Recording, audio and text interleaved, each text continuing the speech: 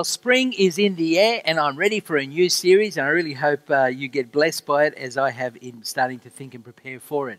The theme, as I said, is what if? What if we really believed? And you could think that's about focusing on the past, but it really is focusing on the future. It's not so much looking back, but looking forward.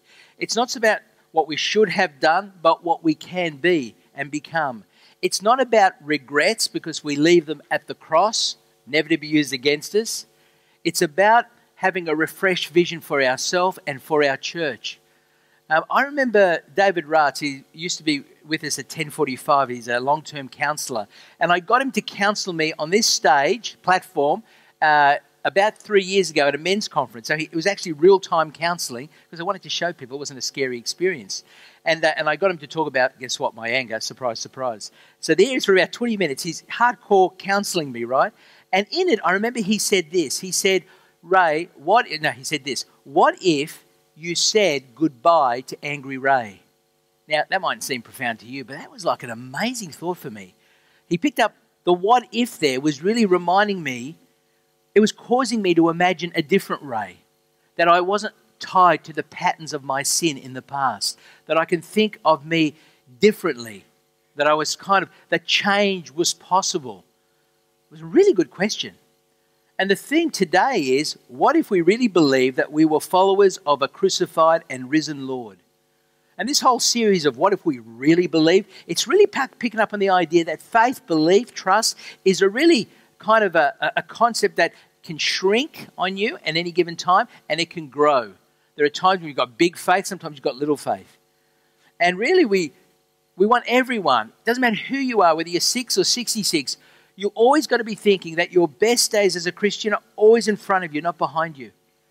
And that we're called in the Bible to not be lacking in zeal. Doesn't matter if you're single, married, widowed, divorced, gay, straight, go for it. Zeal. And at the heart, what we're really talking about is Jesus' call for discipleship. So let's pick it up in Mark chapter 8. It's the second account of the life of Jesus, verse 34, because every sentence in the Bible has a number. This is the 34th sentence in that chapter. Jesus, uh, Mark reads, Then he called the crowd to him along with his disciples and said, Now I want you to read the rest of it with me out loud. Whoever wants to be my disciple must deny themselves, take up their cross, and follow me. Notice that it's a word for everyone disciples and crowd insiders and outsiders. Uh, it's a whoever wants to come to me. It's, it's for anyone. It's for you. It's for me. And when Jesus says, take up your cross, remember, the only people taking up their cross in the first century were those who were about to be crucified on that cross. So Jesus saying, come and be prepared to die. And you think, who is this? I mean, that sounds like a cult leader uh, and not some person you want to follow. Who has the right to ask such outrageous claims or, some outrageous challenges? Who is this Jesus? Well, the opening of Mark's gospel tells us. In Mark chapter 1, verse 1, we read the beginning of the good news about Jesus, who? The Messiah, the Son of God. And you know what? As you flip through Mark chapter 1, 2, 3, 4, 5, 6, 7, 8, what you discover is here is Jesus in all his glory, in all his Father's authority, as the Son of God, as the Messiah in Christ. And it is so clear he is who he claims to be. My goodness, when he's caught in a storm, what does he say? But shut up. When he's confronted by demons, he says, Get out. When faced with a disabled man, he says, Get up. When he meets men who fear God, he said, Follow me. When he's taken to a dead girl, he says, Arise, little girl. And when he speaks of his own death, he says, I must die and I will rise again. And best of all, when he meets us in our absolute mess, he says, Your sins are forgiven. Whoa, there is no corner where Jesus is not in charge. From storms to sickness and from Satan to sin, he's got it all covered. There's no limit to his power, but not everyone worked it out or not everyone worked out who he was, even though they had seen him at his very best. Mark 8, verse 27. Jesus and his disciples or followers went on to the villages around Caesarea Philippi. On the way, he asked them, Who do people say I am?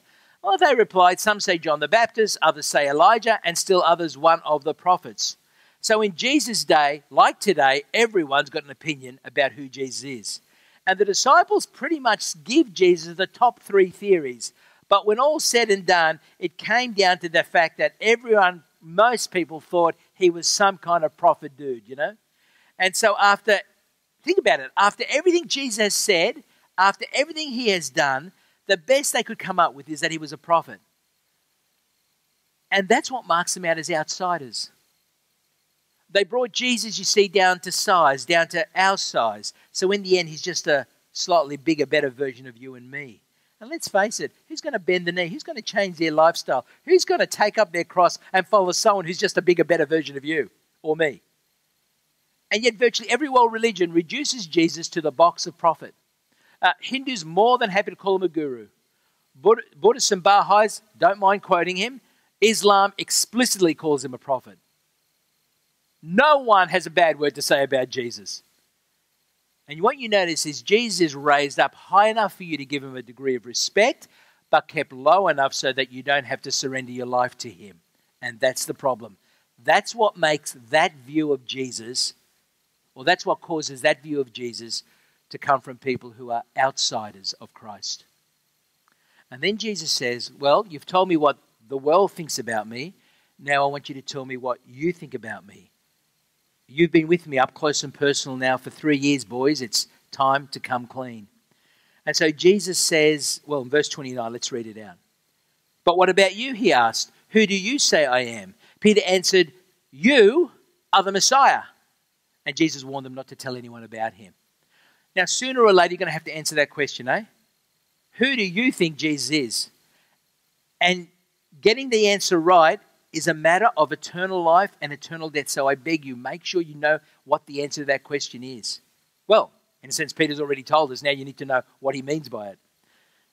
Peter, so Jesus, you know, Jesus says, Who do people say that I am? And Peter gets up, one of the twelve, he's been with him for three years, and he stands up, and on behalf of the group, he says, Jesus, you are the Messiah or Christ. Same word, one's in Hebrew, one's in Greek. Okay, you are the Christ. You think, well, what we do? I mean, you know, I'm Galea, you're Lee, he's Christ. You know, mum and dad, Mr. and Mrs. Christ. What's the big deal? He knows Jesus' surname.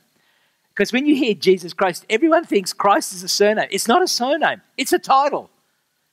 It's a title. It speaks of that Jesus is God's appointed king of the world. It's a big title. So let me explain what I mean. Let's say John is your name and plumber is your job title and your job description is to fix taps, okay? Then Jesus is his name, Christ or Messiah is his job title, and his job description is to rule the universe and everyone in it. So Peter says, You are the Messiah. He's saying a lot that the world was created through him and the world was created for him. And you will never find the meaning of life until you hook up with Jesus.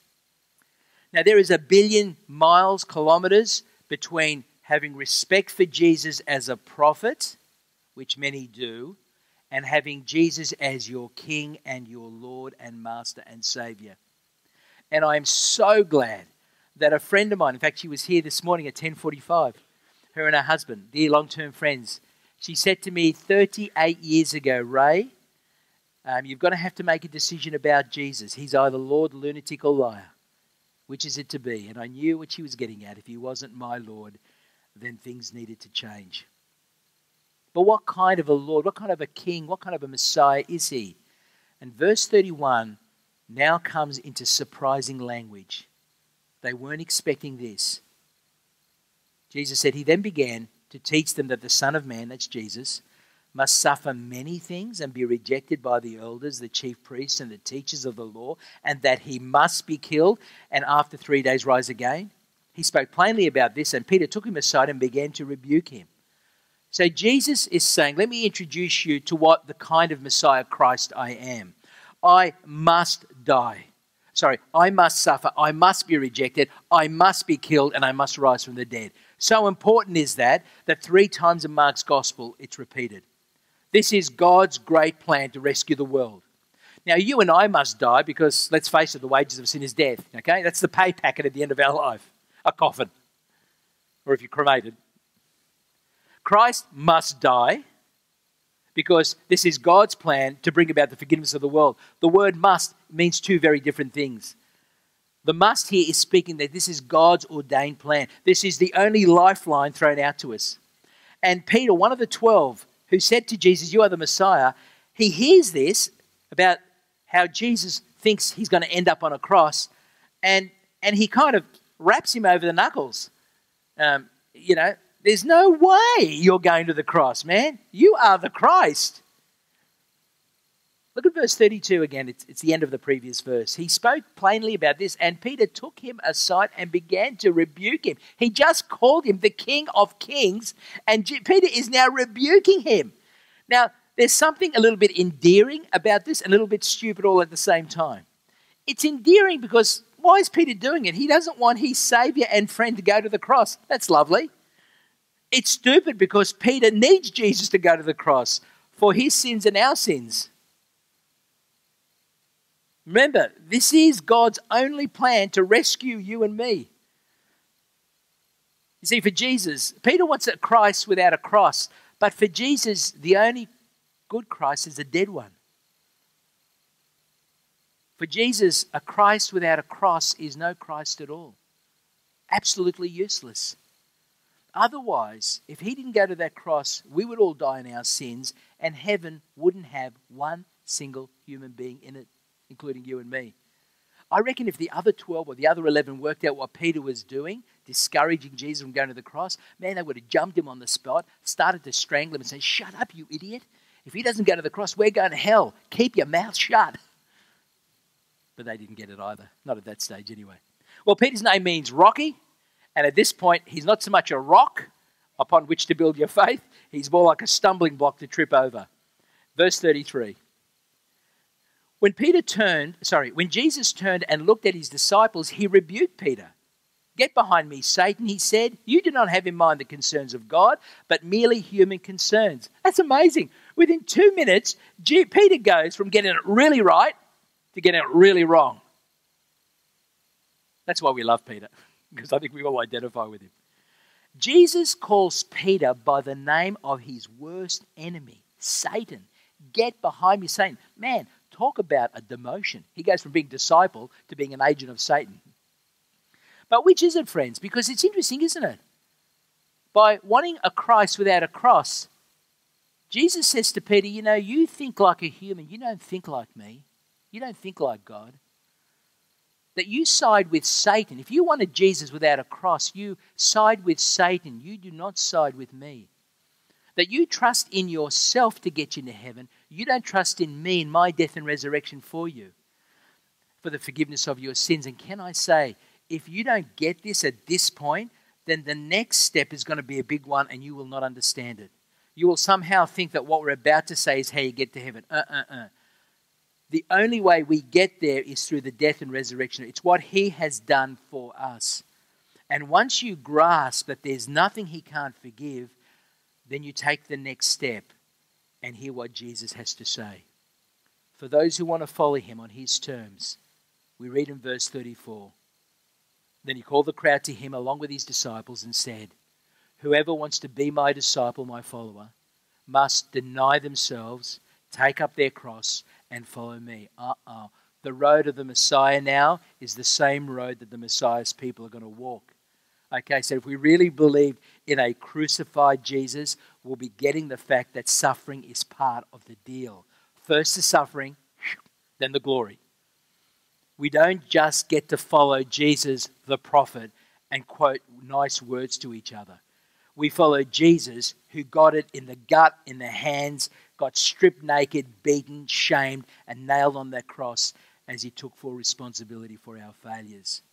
Friends, Christ does not ask you to do anything that he hasn't asked himself to do.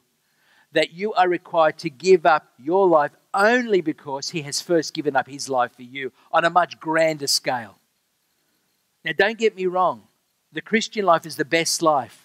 I've had 20 years as a non Christian, I've had 37 years as a Christian. I'm telling you, the 37 years leave the, the first 20 years of my life for dead. Much better.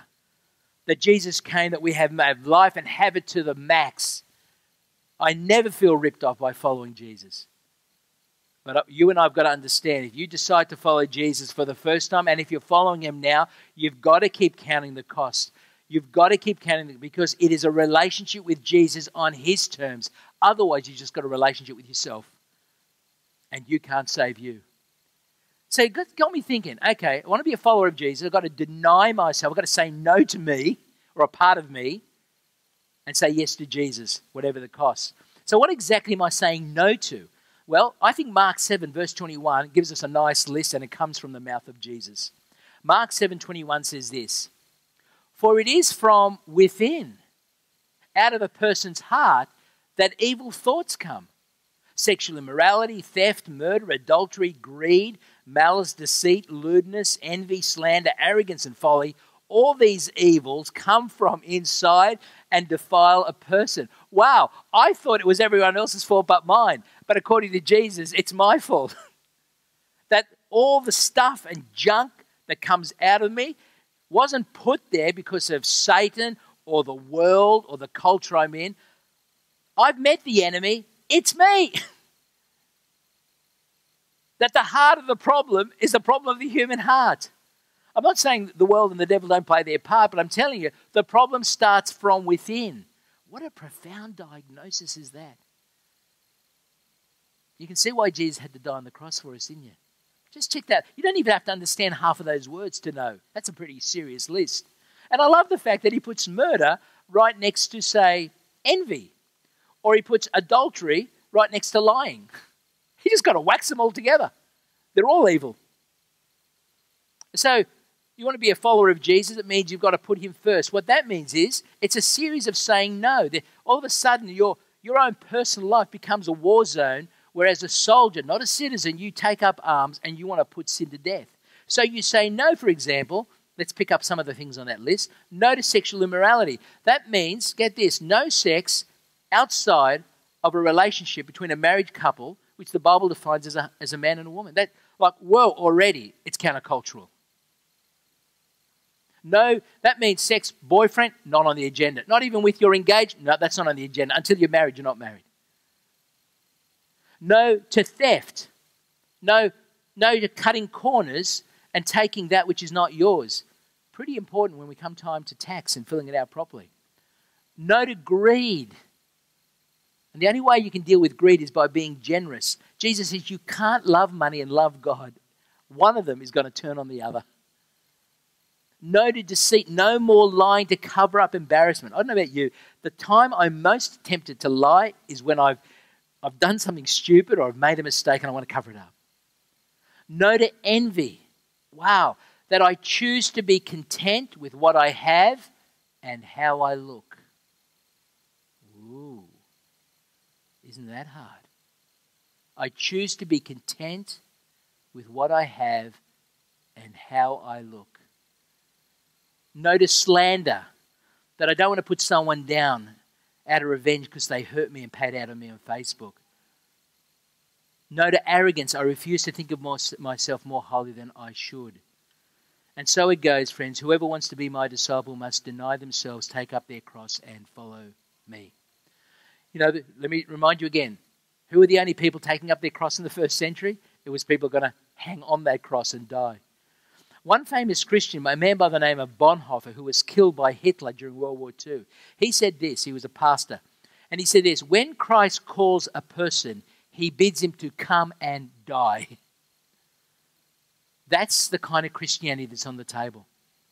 When Christ calls a person, he bids him to come and die die to oneself.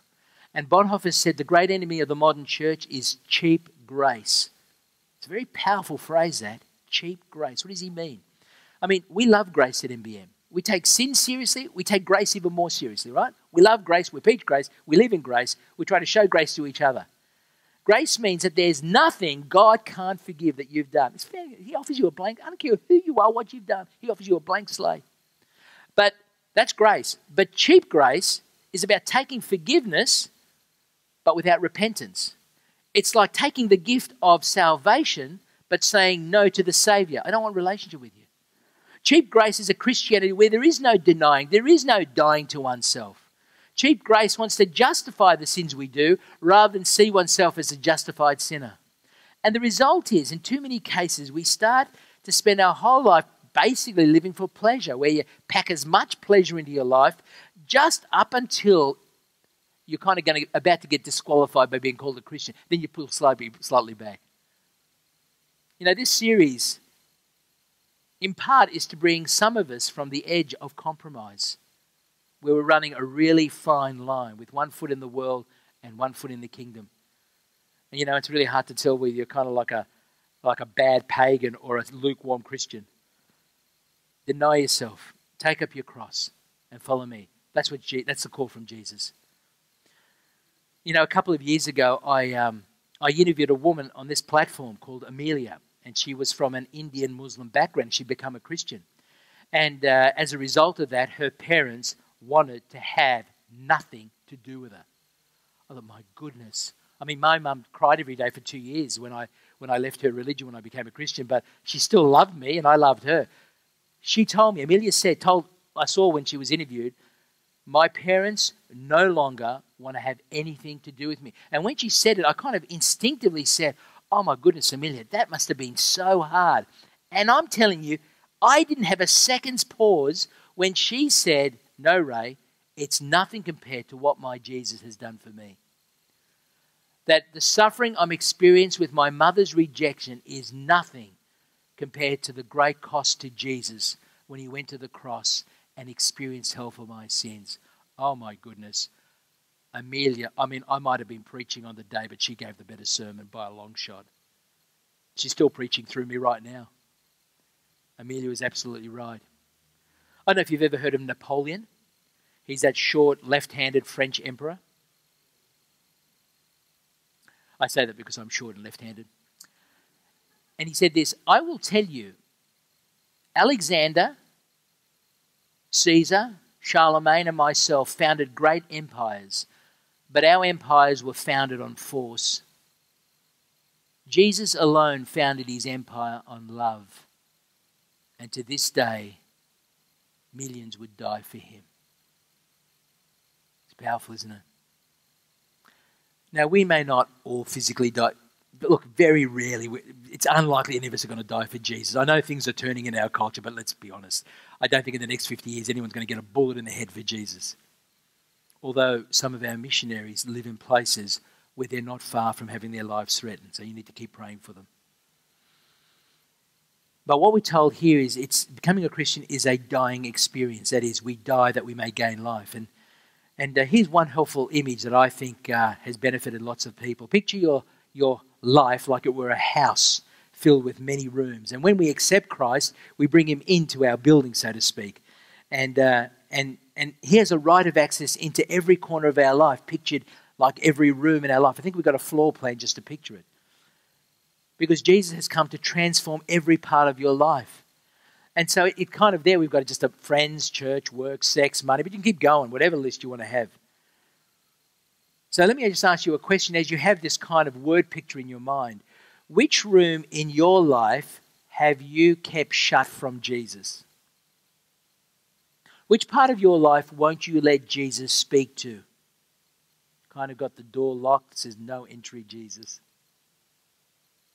Which idol are you nursing? Or which room have you kicked him out of? That is, in your younger Christian days, might have been like two years ago, he was in there working with you on your sexual purity, say, or your willingness to forgive. But now the door's closed. I don't want you in there. I've still got some partying and fun to do. And so you just kick him out. Is it not time to bring him back in and be set free?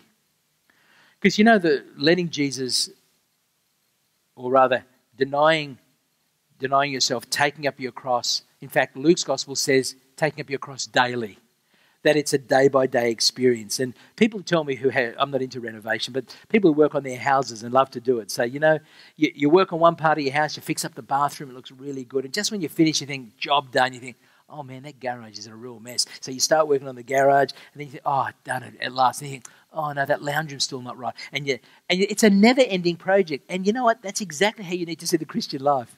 You're constantly working. Once, you, once you've worked on this part and got it right, then you realize that part needs to get right. But you never get tired of working and at the renovation of letting Jesus be Lord. Now, for those of you who are wondering, you know, really, I'm not sure I want to become a Christian. Jesus bids me to come and die? I don't think so. Well, let's, let's hear from Jesus about what the alternative is. Verse 35. For whoever wants to save their life will lose it, but whoever loses their life for me and for the gospel will save it.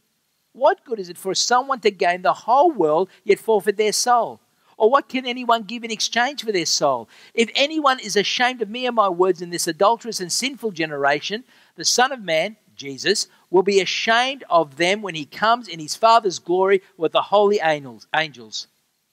In Jesus' kingdom, you gain life by losing it. It's back to front. It's a back to front religion. In Jesus' kingdom, he won't be ashamed of you if you're not ashamed of him. In Jesus' kingdom, he says, look, it makes absolutely no sense if you get it right on every decision and make, and make a mistake on Jesus. So what if you gain the whole world, which, by the way, you're not going to do? But imagine if you gain the whole world and then forfeit your soul because you decided to give Jesus the flick. So what if you get it right on every decision? Spouse, job, investment, health, whatever. And for some reason, sidestep Jesus' call, who says to you, Come, Deny yourself, take up your cross, and follow me. What a tragedy. See, what's the, what is the most important thing you have? It's you. You are the most important thing you have. So don't blow it. Please. What good is it for a person to gain the whole world, whatever that means to you, and live with, without, without, without Christ in a Christless eternity? I don't know if you know the, the name Hugh Hefner. He died recently, and uh, he was the guy who um, produced Playboy magazine that uh, really made porn respectable and destroyed a whole lot of marriages and enslaved a number of people here at MBM, still to this day. There he was with his, you know, 16 blonde bikini girls always around him, smoking his pipe and in his after jacket, relaxing at home in his slippers he denied himself no pleasure. He gained the world.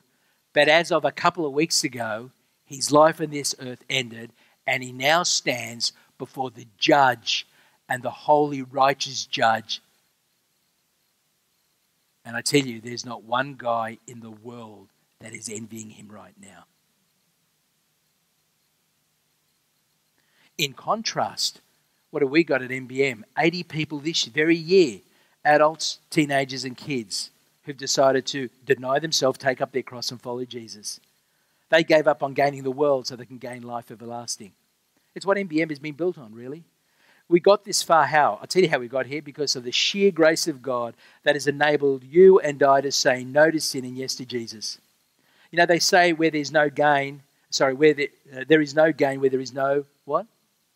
No gain because there's no pain. That's exactly right and our plans, our God desired outcomes, our good plans to make, say, a thousand new disciples. Yeah, it's a good plan. That's a pleasing plan to God. That plan comes at a cost. That's why it was such a delight to see over a hundred more people took on pledges last year than the year before. Um, and I think a good number from this congregation for the very first time. Because that cost needs to be carried at some level. You know, every church plant we do, every new service we do comes at a cost. It means more people need to serve. Uh, every time we release a group, you know, there were 25 people who are now fellowshipping in Smithfield in that new church plant that used to be with us here. I miss them. They miss us. We grieve, they grieve. There's a loss. There's always a cost. We had to pay for a new pastor as well, on top of everything else, pay for rent in Smithfield Primary School. Like there's cost, cost, cost. I tell you what. And then it's left a hole here so that more people in this congregation needed to serve. Cost, cost, cost. But let me tell you, it was worth everything. And it's all built on this simple truth.